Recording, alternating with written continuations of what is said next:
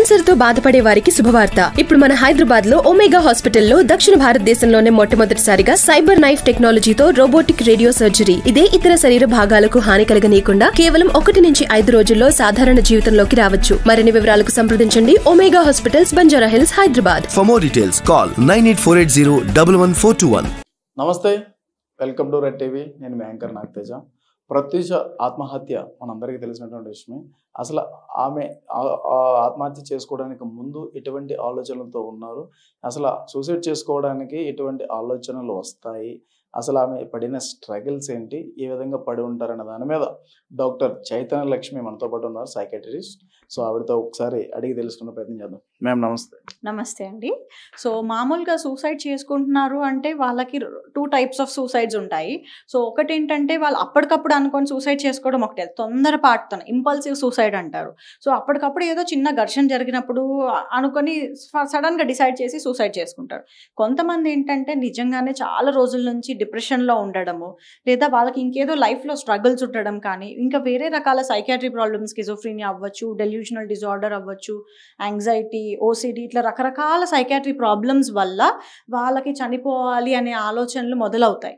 So ఇలాంటి వాళ్ళు చాలా రోజుల నుంచి ప్లాన్ చేసుకుంటారు ఎలా చనిపోవాలి. నిజంగా చ ఖచ్చితంగా అనుకునే వాళ్ళు ప్రాపర్ ప్లానింగ్ అనేది ముందు నుంచే చేసుకుని వాళ్ళు సిచ్యువేషన్స్ కరెక్ట్ అనిపించినప్పటికీ వాళ్ళు సూసైడ్ అటెంప్ట్ అనేది చేస్తుంటారు. సో ఒకటి సైకలాజికల్గా ప్రాబ్లమ్సే కాకపోవచ్చు. ఇంకొన్నిసార్లు ఏంటంటే వాళ్ళ ఇంట్లో ప్రాబ్లమ్స్ ఏదైనా అయి ఉండొచ్చు. ఇంట్లో ఇష్యూస్ వీళ్ళకి ఇంట్లో వాళ్ళకి సమస్యలు ఇంటర్పర్సనల్ ప్రాబ్లమ్స్ వల్ల అయి ఉండొచ్చు. అలా రకరకాల health issues physical health problems ఒక్కొక్కసారి కొన్ని ట్రీట్మెంట్ చేయలేని ఫిజికల్ హెల్త్ ప్రాబ్లమ్స్ ఉన్నప్పుడు కూడా కొంతమంది సూసైడ్ చేసుకుంటారు. For example cancer pain. ఆ పెయిన్ తట్టుకోలేక ఇంకా ఎన్ని ట్రీట్మెంట్స్ అయినా ఇంకా ఎలాగో బతకను అనిపించినప్పుడు వాళ్ళకి ఇంకా హోప్లెస్ అనిపించినప్పుడు చా సూసైడ్ చేసుకునే ఛాన్సెస్ ఉంటాయి. మేము యాక్చువల్గా ఈ విషయం మీద మనం మాట్లాడుకోవాలనుకుంటే సూసైడ్ అటెంప్ట్ అటెంప్ట్ చేసేటప్పుడు కొంత అటెన్షన్ గ్రాపింగ్ కోసం చేయడం లేదంటే నాకేం కాదులే పాయిజన్ తీసుకుంటే నాకేం కాదులే అనుకుని అటెంప్ట్ చేయడం జరుగుతుంది. సో ఫైనల్ ఇవన్నీ వాళ్ళు చేసేవన్నీ వాళ్ళు ఆలోచించడం చాలా ఈజీగా సిల్లీగా ఉంటాయి. కానీ ఫైనల్లీగా వచ్చేసరికి ఆ రేషియో డెత్ వరకు వెళ్ళిపోతుంది. సో ఇవన్నీ ఆగాలంటే వాళ్ళ మైండ్ సెట్ ఏ విధంగా మార్చుకోవాలి? ఒకటి ఫస్ట్ థింగ్ ఇప్పుడు మనం చేసే పని వల్ల కాన్సిక్వెన్సెస్ ఏంటి అనేది వాళ్ళకి తెలియాలి. నేను ఏదో విషయం తాగితే చనిపోతానో ఏమో కానీ మా వాళ్ళు భయపడతారు. నేను ఏం చెప్తే అది వింటారు అన్న ఆలోచనతో కొంతమంది చేస్తారు. కానీ అలాంటి వాళ్ళు బై ఛాన్స్ నేను చనిపోతే ఏంటి పరిస్థితి? నా కోరిక తీర్చడం కాదు కదా నేను నా ప్రాణమే ఉండదు కదా అనే విషయం వాళ్ళు తెలుసుకోవాలి. మెయిన్గా అది. నా డెసిషన్ వల్ల వచ్చే కాన్సిక్వెన్సెస్ పాజిటివే కాదు నెగటివ్గా ఏమి జరగచ్చు అనేది వీళ్ళు ఆలోచించాలి. అప్పుడు ఆ తొందరపడి చేసే నిర్ణయాలు అనేది ఉండదు. మేడం ఒక మనిషి ఏ విధంగా ఆలోచిస్తే హ్యాపీగా ఉండగలుగుతాడు? ఓకే మనిషి హ్యాపీగా ఉండాలి అంటే మన మన కెపాసిటీకి తగ్గట్టు మనం చేయాలి. ఇప్పుడు నేను ఇంతవరకే నేను వర్క్ చేయగలను ఇంతే సంపాదించగలను నా టాలెంట్ ఇంత. సో నా టాలెంట్ తగ్గట్టు నేను వర్క్ చేస్తే మనం సక్సెస్ఫుల్గా ఉంటాము మనకు కావాల్సింది వస్తుంది. మన కెపాసిటీకి మించి కోరికలు ఉన్నప్పుడు అది అచీవ్ చేయలేనప్పుడు వాళ్ళకి ఫెయిల్యూర్ అనే ఫీలింగ్ వచ్చినప్పుడు అది సూసైడ్ దాకా వెళ్తుంది. మేము ఇప్పుడు ప్రత్యూష కార్బో మొనాక్సైడ్ అనే పేపర్ తీసుకొని దాని నుంచి వచ్చిన ఆవిరిని పీల్చుకొని ఆమె చనిపోవడం జరిగింది. అది అంత అంత పవర్ఫుల్ మేడం అది? కార్బన్ మోనాక్సైడ్ చాలా డేంజరస్ గ్యాసే అది. ప్రాణాపాయం దాకా వెళ్తుంది. అందులో తను బయటకి ఆ గ్యాస్ బయటకు పోకుండా చాలా జాగ్రత్తలు పడింది కాబట్టి ఆ చిన్న గది బా బాత్రూమ్ అన్నాక చాలా చిన్న గది. ఆ చిన్న గదిలో మొత్తం కాన్సన్ట్రేట్ అయిపోయేసరికి అది డేంజరస్ బ్రీత్ అసలు మనకు ఆడదా మేడం ఆ తీసుకున్న వెంటనే ఆ- ఊపిరి? ఆ కార్బన్ మోనాక్సైడ్ అనేది మన రక్తంలో ఉన్న హిమోగ్లోబిన్తో మిక్స్ అయ్యి కార్బాక్సీ హిమోగ్లోబిన్ లా మారుతుంది. ఆ కార్బాక్సీ హిమోగ్లోబిన్ మనకి ఏ అవయవం అయినా ఆక్సిజన్ మీదే ఆధారపడి ఉంటుంది. సో ఒక్కసారి మన హిమోగ్లోబిన్ కార్బన్ మోనాక్సైడ్ కలిస్తే ఇంకా రక్తంలో ఆక్సిజన్ క్యారింగ్ కెపాసిటీ ఉండదు. సో బ్రెయిన్కి కానీ ఏ అవయవంకైనా ఆక్సిజన్ వెళ్ళాల్సింది వెళ్ళట్లేదు. సో మనకు ఆక్సిజన్ లేకపోతే ప్రాణం ఉంటుందా? అక్కడ ఉండదు కా- అది వల్లే డెత్ అనేది జరుగుతుంది. ఓకే. మేడం దానివల్ల పెయిన్ ఎక్కువ ఉంటుందా మేడం? అంటే ఐ మీన్ నేను అడిగేది ఏంటంటే దానివల్ల వాళ్ళు ఏమైనా సఫర్ అవుతారా? చనిపోయేటప్పుడు ఊపిరాడకుండా కొట్టుకోవడం కానీ ఈ టైప్ ఆఫ్ ఉంటుందండి. మనకు ఊపిరి ఆడకపోతే ఒక్కసారి మనమే మన ముక్కు క్లోజ్ చేసుకుంటే ఆ పెయిన్ మనకు కూడా అర్థమవుతుంది. సిమిలర్గా వాళ్ళకు కూడా ఆ పెయిన్ ఉంటుంది. అందుకే వాళ్ళు ఎస్కేప్ అవ్వకుండా చూసుకుంటారు. డోర్ లాక్ చేసుకుని ఆ కొంతమంది ఆ పెయిన్ ఉంటుంది కాబట్టి చనిపోయేటప్పుడు బై ఛాన్స్ నేను ఎస్కేప్ అవుతానేమో అనేసి వాళ్ళకి వాళ్ళు బయటకు వెళ్ళకుండా జాగ్రత్తలు తీసుకునే మనుషులు కూడా ఉన్నారు. దీన్ని కూడా డోర్ లాక్ చేసుకుంది అనుకుంటా కదా? సో ఎస్కేప్ అవ్వకుండా కూడా ట్రై నిజంగా చనిపోవాలనుకునే వాళ్ళు ఆ పెయిన్ ఉన్నా కూడా తట్టుకొని బయటకు వెళ్ళకుండా ట్రై చేస్తారు. అంటే పాయిజన్ హ్యాంగ్ ఈ టైప్ ఆఫ్ చేయిలు కోసుకొని చనిపోవడం ఈ టైప్ ఆఫ్ పెయిన్ కంటే వాటితో పోల్చుకుంటే ఇది తక్కువే అని చెప్పొచ్చు. చెప్పలేమండి. ఓకేనా? ఈక్వల్లీ సివియర్ అంటే ఇది సపరేట్ అది డిఫరెన్స్ ఉంటుంది అనమాట అవి ఎంత పెయిన్ కాజ్ చేస్తుందో ఇది కూడా అంత పెయిన్ కాజ్ చేస్తుంది. మేడం ఇటువంటి సూసైడ్స్ ఆగాలంటే ఒక మనిషి సై మెంటల్ మెంటల్గా ఎలా ఉంటే బెటర్ అంటే నవ్ డేస్ చిన్న చిన్న సెన్సిటివ్ పాయింట్స్ కూడా ఎక్కువగా రియాక్ట్ అయిపోయి ఓవర్ యాక్సైడ్ అయిపోయి వాటి వల్ల కూడా ఇటువంటి సిచ్యువేషన్స్ మనం చూడగలుగుతాం. ఇవన్నీ ఆగాలంటే యాజ్ ఏ డాక్టర్ మీరేం చెప్తారు? ఓకే మొదట మనిషి వీలైనంత వరకు రిలాక్స్డ్గా ఉండడానికి ట్రై చేయాలి. అది హండ్రెడ్ పర్సెంట్ పాసిబుల్ ఎవరికీ కాదు. కాకపోతే సరే మనం ఏదో టెన్షన్లో ఉన్నప్పుడు కోపంగా ఉన్నప్పుడు ఏ నిర్ణయం తీసుకోకూడదు. ఇది మెయిన్ ఇంపార్టెంట్. ఏదైనా ప్రాబ్లం వచ్చింది అనుకోండి మనం ప్రశాంతంగా రిలాక్స్డ్గా ఉన్నప్పుడే ఈ ప్రాబ్లంకి మనం ఏం చేయాలి అనేది ఆలోచించాలి. ఆవేశంలో ఉన్నప్పుడు ఏ నిర్ణయాలు తీసుకోకూడదు. అది యూజువల్గా తొందరపాటు నిర్ణయాలే అవుతుంది. సో అదొకటి మెయిన్గా. మన నిర్ణయం తీసుకునేటప్పుడు మన మైండ్ స్టేట్ ఎలా ఉంది అనే దాన్ని బట్టి ఉంటుంది. ఒకవేళ మీరు ఆ ప్రాబ్లం సాల్వ్ చేసుకోలేకపోతున్నారు అన్నప్పుడు మీరు వేరే వాళ్ళ సలహా తీసుకోవచ్చు. ఫ్యామిలీ మెంబర్స్ అవ్వచ్చు ఫ్రెండ్స్ అవ్వచ్చు సరే అది వాళ్ళతో మీరు షేర్ చేసుకోలేనప్పుడు మీరు కౌన్సిలర్స్ దగ్గరికి వెళ్ళొచ్చు నా సైకలాజికల్గా నేను ఇలా ఇబ్బంది పడుతున్నాను ఒక సమస్య వల్ల. ఈ ప్రాబ్లంకి నాకు సొల్యూషన్ దొరకట్లేదు. దీనివల్ల నాకు దిగులుగా ఉంది భయంగా ఉంది టెన్షన్గా ఉంది ఇలా ఏదైనా ఉన్నా కూడా వెంటనే ఒక కౌన్సిలింగ్ సెషన్కి వెళ్తే ఓకే ఆ కౌన్సిలింగ్తో సరిపోతుంది అంటే అది అక్కడితో అయిపోతుంది. లేదు అలానా మనిషికి ఇంకా అండర్లయింగ్ సైకాట్రిక్ ప్రాబ్లం ఉంది డిప్రెషన్ యాంగ్జైటీ సివియర్గా ఉంది అన్నప్పుడు వాళ్ళే సైకాట్రిస్ట్ దగ్గర రిఫర్ చేస్తే ఆ ట్రీట్మెంట్తో అది సరిపోతుంది. ఇది కాకుండా సూసైడ్ హెల్ప్ లైన్ అనేది ఒక నంబర్ ఉంది. ఆ సూసైడ్ హెల్ప్ లైన్ నంబర్కి మీరు మీరు suicide చేసుకోవాలనిపిస్తుంది but you don't want to do it అన్నప్పుడు you can immediately call this suicide help line వాళ్ళు వెంటనే మీకు ఫోన్లో మాట్లాడి ఆ కొంచెం టెంపరీ రిలీఫ్ అనేది ఇస్తుంది. ఇమీడియట్గా మీరు సూసైడ్ చేసుకోకుండా దిల్ హెల్ప్ యూ. మేడం ఇప్పుడు ఈ విషయాలు చూసుకుంటే ఎక్కువగా ఈ రేషియో పర్సనల్ తీసుకుంటే అంటే ప్రత్యక్ష ఏ కారణం చేత చనిపోయారని సూసైడ్ చేసుకున్నారు అనేది ఇప్పుడు అయితే బయటికి తెలియదు కాకపోతే యూజువల్గా నేను అడిగే ప్రశ్న ఏంటంటే లవ్ ప్రాబ్లమ్స్ ఎక్కువగా అంటే వాళ్ళు నా వాళ్ళు తర్వాత నా దగ్గర లేకపోతే వాళ్ళు ఏం చేస్తున్నారు? ఏంటి అనే ఒక డౌట్ఫుల్ మెంటాలిటీతో ఎక్కువ అయిపోవడం వల్ల నెగిటివిటీ ఎక్కువ ఫామ్ అయిపోతుంది మెంటల్గా మైండ్ మైండ్ సెట్కి సో అటువంటి సిచ్యువేషన్లో కూడా ఇటువంటి సూసైడ్ అటెంప్ట్స్ చేసుకోవడం కూడా జరుగుతుంది. ఇటువంటి దానికి మీరు ఏం చెప్తారు?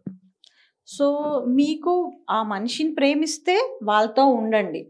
లేదు ఆ ప్రేమ అనేది ఇద్దరి మధ్యలో ఉండాలి. రెండు వైపుల నుంచి ఉండాలి. ఒకరి వైపు నుంచే ఉన్న ప్రేమ అది ఎప్పటికీ ఉండదు. సి అవతల మనిషి మనకి వాళ్ళకి మనం నచ్చట్లేదు అన్నప్పుడు మనం వాళ్ళని ఇబ్బంది పెట్టద్దు మనము ఇబ్బంది పడకూడదు. దూరంగా ఉండిపోయి మనల్ని మనం వేరే పనిలో డైవర్ట్ చేసుకోవాలి. డైవర్ట్ అయిపోయిన తర్వాత మనం కొంచెం సెట్ అయిన తర్వాత ఇంకో లైఫ్ పార్ట్నర్ని వెతుక్కోవడం బెటర్. ఇలా దూరం అవ్వే ప్రాసెస్ చాలా పెయిన్ఫుల్ అనిపిస్తుంది కొంతమందికి. ఆ పెయిన్ఫుల్ ఎందుకు మొత్తానికి లేకుండానే పోతే బెటర్ అనిపిస్తుంది మరి కొంతమందికి. సో ఆ సెకండ్ జోనర్ ఎవరైతే ఉంటారో వాళ్ళే సూసైడ్ చేసుకొని చనిపోవడం కూడా జరుగుతుంది. సో వీళ్ళ మైండ్ సెట్ కంప్లీట్ చేంజ్ అవ్వాలంటే ఇటువంటి కౌన్సిలింగ్ తీసుకోవాలి? ఎలా ఎడ్యుకేట్ చేయాలంటారు? వాళ్ళు కౌన్సిలర్ దగ్గరికి వెళ్తే సో ఈ మనిషిలో ఉన్న పర్సనాలిటీ ఫీచర్ ట్రైట్స్ ఏంటి అనేది చూస్తారు. చూసి దానికి తగ్గట్టు కౌన్సిలింగ్ అనేది ఇస్తుంది. ప్రతి మనిషి డిఫరెంట్ అందరి మైండ్ సెట్ ఒకలాగా ఉండదు. ప్రతి మనిషి మనస్తత్వం వేరు. సో ఆ వచ్చిన మనిషి మనస్తత్వం బట్టి మనం ఆ కౌన్సిలింగ్ అనేది ఇవ్వాల్సి ఉంటుంది. కంప్లీటెడ్గా దాంతో పాటు ఆ మనిషి ఆ ప్రాబ్లంలో ఉన్నప్పుడు సోషల్ సపోర్ట్ లేదా ఫ్యామిలీ సపోర్ట్ అనేది అవసరం. సో ఫ్యామిలీ సైడ్ నుంచి ఫ్రెండ్స్ సైడ్ నుంచి సపోర్ట్ ఉంటే సూసైడ్ చేసుకునే ఛాన్సెస్ చాలా తగ్గుతాయి. మధ్యలో గిల్ట్ ఫీలింగ్ వస్తుంటుంది కొంతమందికి. అంటే సూసైడ్ చేసుకుంటారు కానీ మళ్ళీ నేను రికవర్ అయ్యి బయటకు వస్తాను అన్న థాట్లోనే చేసుకుంటారు.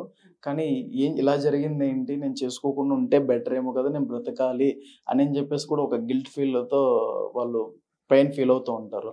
సో ఎగతాళిగా చేసింది సీరియస్ అయిపోతుంది. ఈ గిల్ట్ ఫీల్ వచ్చే పర్సన్స్కి మీరు ఏం చెప్తారు? అసలు ఫస్ట్ సో వాళ్ళకి నేను ఇందాక చెప్పినట్టు నిజంగా మీరు చనిపోవాలనుకుంటున్నారా? ఏదో బెదిరించాలనుకుంటున్నారా? దీని తర్వాత కాన్సిక్వెన్సెస్ ఏంటి? ఏం జరగబోతుంది? ఒకవేళ నేను చనిపోతే ఏంటి? ఒక్కసారి ప్రాణం పోతే ఎవ్వరు ఏం చేసి దాన్ని తిరిగి తీసుకురాలేరు. సో చేసే ముందే ఆలోచిస్తే ఆ గిల్ట్ దాకా మీరు పోరు కదా? సో ముందే ఆలోచించండి. కానీ ప్రాణం పోయిన తర్వాత మీరు అచీవ్ చేసేది ఏంటి ఏది చేయాలన్నా బతికి సాధించాలి కానీ చనిపోయి చూపించేది ఏముంది? ఒక పిరికివాడిగా చనిపోయే కంటే బ్రతికి మీకు కావాల్సింది ఏదో మీరు చేసి చూపిస్తే బాగుంటుంది ఆ గిల్ట్ అనేది రాదు. ఒక సెటన్ ఏజ్ వచ్చేంత వరకు పేరెంట్స్ పిల్లలకి ఏ విధంగా దగ్గరగా ఉండాలి? వాళ్ళకి ఏ విధంగా ఏ ఏ విషయాలు చేసి ఎడ్యుకేట్ చేస్తూ ఉండాలి? ఇది చాలా ముఖ్యమైన విషయం. చాలా వరకు చిన్నప్పటి నుంచి ఈ మధ్య కాలం పిల్లల్ని గారాబంగా పెంచుతున్నారు. వాళ్ళకి ఏ ఇబ్బందులు తెలియకుండా పెంచాలనే ఉద్దేశంతో పెంచుతున్నారు. సో ప్రాబ్లమ్స్ వచ్చినప్పుడు రేపు ఫ్యూచర్లో వాటిని ఎలా ఫేస్ చేయాలనేది వీళ్ళకి తెలియట్లేదు. అలాంటప్పుడే వాళ్ళు పెద్దగా తర్వాత ఏదైనా సడన్గా ప్రాబ్లం వస్తే తట్టుకోలేక that's it let's end our life చనిపోదాము. ఈ ప్రాబ్లంకి చావే సొల్యూషన్ అని ఆలోచిస్తున్నారు. సో పిల్లలకి చిన్నప్పటి నుంచే ప్రాబ్లమ్స్ లైఫ్లో వస్తుంటాయి. కా- వాటికి సొల్యూషను ఉంటుంది. లైఫ్ అన్నాక ప్రాబ్లమ్స్ వస్తాయి పోతాయి. ఇది న్యాచురల్ అది అర్థం చేసుకోవాలి. అది పేరెంట్స్ చిన్నప్పటి నుంచి వీళ్ళకి అర్థం చెప్పాలి. ప్లస్ వాళ్ళు వాళ్ళ లైఫ్లో ఫేస్ చేసిన ప్రాబ్లమ్స్ వాళ్ళు ఎలా ఎదుర్కొన్నారనేది పేరెంట్స్ చిన్నప్పటి నుంచి పిల్లలకి చెప్పడము. ఇంకొకటి మీకు ఎటువంటి ప్రాబ్లమ్స్ వచ్చినా కూడా సపోర్ట్ మా సైడ్ నుంచి ఉంటుంది అనేది తెలియాలి. సో ఇద్దరు పేరెంట్స్లో ఒక్కరు స్ట్రిక్ట్గా ఉన్నా ఒక్కరు ఫ్రెండ్లీగా ఉండాలి.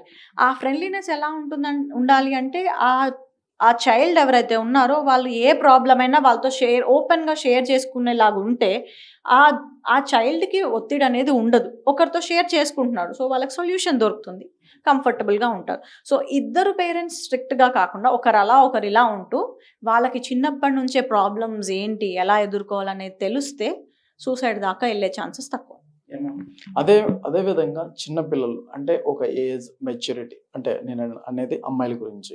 వాళ్ళకి వచ్చిన తర్వాత ఒక రాంగ్ టచ్ కొన్ని ఉంటాయి అవి వాళ్ళకి ఇష్టం లేకపోయినా సరే కొన్ని కొన్ని సిచ్యువేషన్స్లో కొన్ని కొన్ని ప్లేసెస్లో వాళ్ళకి ఇష్టం లేకపోయినా ఇలా చేయలేయడం కానీ ఇలా చేస్తుంటారు. ఆ ప్లేస్ వీళ్ళు ఒకవేళ సీరియస్ అయితే అక్కడ ఏం ప్రాబ్లం జరుగుద్దో ఏంటని చెప్పేసి వాళ్ళు సైలెంట్గా ఉండిపోవడం జరుగుతుంది. తర్వాత వాళ్ళ ఇంటికి వెళ్ళిన తర్వాత వాళ్ళ యొక్క సైక్ ఎలా ఎందుకు ఇలా జరిగింది నేను నా మీద వాడు అలా చేయడానికి గల రీజన్ ఏంటి నేను ఆ టైప్లో కనపడుతున్నాను చెప్పి తనకు తను సెల్ఫ్గా ఫీల్ అయ్యి ఒక సైకిక్గా పిచ్చి పిచ్చిగా కేకలేసుకుంటూ కోపం ఎక్కువ పెంచేసుకుంటారు. దీన్ని ఎలాగ అవాయిడ్ చేయాలంటారు? సో మొదటిది వీలైనంత వరకు ఆడవాళ్ళందరూ సెల్ఫ్ డిఫెన్స్ నేర్చుకోవాలి. సో అదొకటి. చిన్నప్పటి నుంచి ఒక అమ్మాయికి ఒక ఫోర్ ఫైవ్ ఇయర్స్ వచ్చినప్పటి నుంచే గుడ్ టచ్ ఏంటి బ్యాడ్ టచ్ ఏంటి అనే ఎడ్యుకేషన్ చిన్నప్పటి నుంచి ఉండాలి. ఈ రెండు ఉంటే వాళ్ళు పెద్దగా అయిన తర్వాత ఆ డిఫరెన్సియేషన్ తెలుస్తోంది. సో ఆ బ్యాడ్ టచ్ వచ్చిన వెంటనే వీళ్ళు ఎలా రెస్పాండ్ అవ్వాలి? సో ఆ పిల్లలకి అది నేర్పిస్తే వెంటనే వాళ్ళకి ఆ ఆప్షన్ వచ్చిన దాకా కూడా అక్కర్లేదు. వాళ్ళు ఫైట్ చేసేలాగా ఉండాలి. రెండోది ఎదుటి వాళ్ళు మగవాళ్ళ బిహేవియర్ ముందు నుంచే ఇతను అలాంటి వాడా అనేది గెస్ చేసే కెపాసిటీ కూడా వీళ్ళకు ఉంటే అంత దాకా అది పోదు. సో ఇంకొకటి ఈ పిల్లల్ని అసర్టివ్గా పెంచాలి. నీకు ప్రాబ్లం వస్తే ఫేస్ చెయ్యి. ఏడ్చుకుంటూ వెనక్కి రావడం కాదు. యు బీ స్ట్రాంగ్ ఫేస్ చెయ్యి ఎదుర్కో. బాధపడుతూ ఇంటికి రావడం కాదు అనే చిన్నప్పటి నుంచే పెంచితే ఆ ప్రాబ్లం రాదు. తర్వాత వచ్చి బాధపడే సిచ్యువేషన్ రాదు. వాడి చెయ్యి ఎత్తగానే కొట్టేలాగా ఉండాలి వీళ్ళు. మేడం ఫైనల్గా ప్రత్యూష లాంటి ఇన్సిడెంట్స్ కేసెస్ ఇక మీదట జరగకూడదు అని అనుకుంటే యాజ్ ఏ డాక్టర్గా మీరేం చెప్తారు? ఓకే సో ప్రాబ్లమ్స్ అందరి లైఫ్లో ఉంటాయి. సో ప్రతి ప్రాబ్లంకి సొల్యూషన్స్ ఖచ్చితంగా ఉంటాయి. మల్టిపుల్ సొల్యూషన్స్ ఉంటాయి. మనం చూస్ చేసుకునే పద్ధతిని బట్టే ఉంటుంది. సో పిరికి వాళ్ళగా మారే కంటే నా ప్రాబ్లంకి నేను ఎలా సాల్వ్ చేసుకోవాలి అనే ఆలోచించండి. ఆ ఆలోచించడం కూడా మీరు ప్రశాంతంగా ఉన్నప్పుడు ఆలోచించి తొందరపాటు నిర్ణయాలు తీసుకోకుండా నేను ఇలా చేస్తే జరిగే కాన్సిక్వెన్సెస్ ఏంటో ఆలోచించి స్టెప్ తీసుకోండి. మీకు వల్ల అవ్వకపోతే కౌన్సిలింగ్కి వెళ్ళండి. మీరే ఇబ్బంది పడకండి. మీ family members friends support first option అది కాకపోతే కౌన్సిలింగ్కి వెళ్ళండి. You'll have your solution take a good step madam అదే విధంగా వాళ్ళు తీసుకోవడమే కాకుండా యాజ్ ఏ డాక్టర్గా మీ అందరు డాక్టర్స్ యూనియన్స్ ఏవైతే ఉంటాయో ఈ డాక్టర్ యూనియన్ అంతా ఒక మీటింగ్ పెట్టుకొని ఈ టైప్ ఆఫ్ మెంటాలిటీతో కొంతమంది ఉంటారు కాబట్టి మీరే క్యాంపెయినింగ్ లాగా ఎందుకు ప్లాన్ చేయకూడదు? మామూలుగా every year mental health day అని జరుగుతాయి సూసైడ్ ప్రివెన్షన్ డే ఇవన్నీ జరుగుతూనే ఉంటాయి.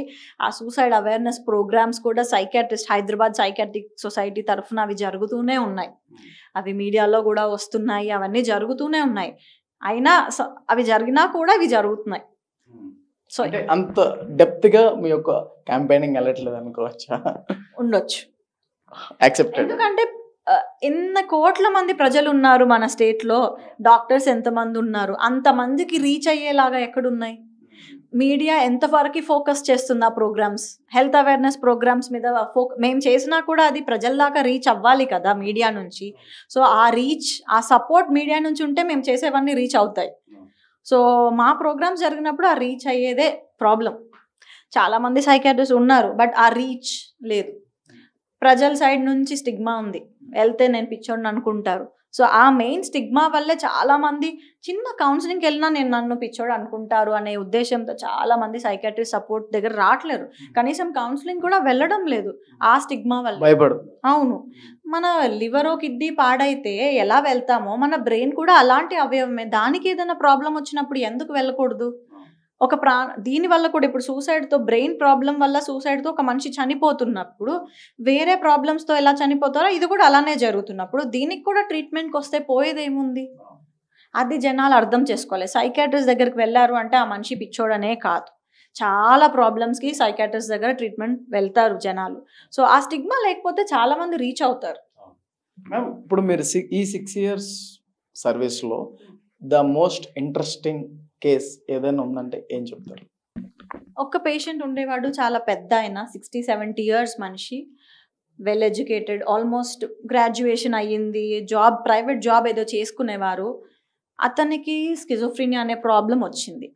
అది వచ్చిన తర్వాత అనుమానం మొదలైంది. తనలో తను మాట్లాడుకుంటాడు. మనుషులు ఎవరు లేకపోయినా ఎవరో ఏదో చెప్తున్నట్టు మాటలు వినిపిస్తాయి. ఆ మాటలు అతనికి కమాండ్ చేస్తాయి. అటు వెళ్ళు ఇటు వెళ్ళు. అలా కమాండ్ చేసుకుంటూ అతని ఊరు ఎక్కడో దూరం హైదరాబాద్కి చాలా దూరంగా ఎక్కడో ఉండే మనిషి ఆ మాటలకి రెస్పాండ్ అయ్యి అతనికి ఆ సిచ్యు ఆ ప్రాబ్లం అనేది చాలా సివియర్ అయిపోయి తన దగ్గర డబ్బులు లేవు ఫుడ్ లేదు ఏం లేకపోయినా రకరకాల ట్రైన్స్ ఎక్కి ఇక్కడ అక్కడ వాళ్ళ స్టేట్ నుంచి ఆల్మోస్ట్ కన్యాకుమారి కాశ్మీర్ అట్లా రకరకాల స్టే ప్లేసెస్కి ఏ డబ్బులు లేకుండా తిరిగి తిరిగి లాస్ట్కి ఎవరో ట్రైన్లో అతన్ని ఇతని మానసిక పరిస్థితి బాగాలేదు అని చెప్పేసి అప్పుడు అతన్ని సైకాట్రిస్ట్ హాస్పిటల్ దగ్గరికి అప్పుడు తీసుకొచ్చిన తర్వాత ఆ మనిషి వైద్యం చేసిన తర్వాత ఒక టూ మంత్స్ లోపు మంచికయ్యాడు ఒక ఫస్ట్ వన్ మంత్ అయిపోయేసరికి అతను వాళ్ళ వాళ్ళు ఎవరు తన ప్లేస్ ఏంటి అన్నీ చెప్పగలిగారు.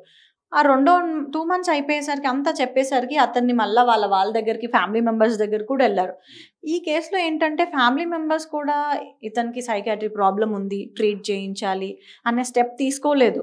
వదిలేశారు అతన్ని. అందువల్ల ఆ నెగ్లిజెన్స్ వల్ల ఆ మనిషి ఎక్కడెక్కడో తిరిగి చాలా రోజుల తర్వాత ట్రీట్మెంట్కి వచ్చి బాగయ్యాడు. ఇప్పుడు ఫైన్ ఇప్పుడు ఫైన్ మీరేనా డాక్టర్ నేను కాదు వేరే డాక్టర్ ట్రీట్ చేశారు. మేడం ఇంతమందిని మీరు ట్రీట్మెంట్ చేస్తుంటారు కదా మీకు ఇంటికి వెళ్ళిన తర్వాత అవన్నీ మైండ్లోకి వస్తాయి మేడం. స్లీప్లో ఉన్నప్పుడు ఇక్కడ విషయాలు హాస్పిటల్ విషయాలు హాస్పిటల్ దగ్గరే క్లీన్ చేసేసుకొని వెళ్ళిపోతాం. Profession. ఆలోచించకూడదు. అవునా? సరే madam. Thank you ma'am thank you so much yeah చూసారు కదా ప్రత్యూష గరిమెల్ల ఇన్సిడెంట్ ఆత్మహత్య చేసుకున్న దాని మీద లక్ష్మీ చైతన్య గారు ఇప్పటివరకు డాక్టర్ లక్ష్మీ చైతన్య గారు ఇప్పటివరకు మనతో అయితే మాట్లాడారు. సో ఇటువంటి సూసైడ్స్ని అవాయిడ్ చేయండి. దీని మీద మేము చాలా అవేర్నెస్ ప్రోగ్రామ్స్ కూడా పెడుతున్నాము. అయినప్పటికీ కూడా ఇటువంటి ఇన్సిడెంట్స్ జరుగుతున్నాయి అని చెప్పేసి ఆవిడ చెప్పడం జరుగుతుంది. సో మరొక స్పెషల్ గర్ల్స్తో మళ్ళీ కలుసుకుందాం. అంతవరకు సెలవు.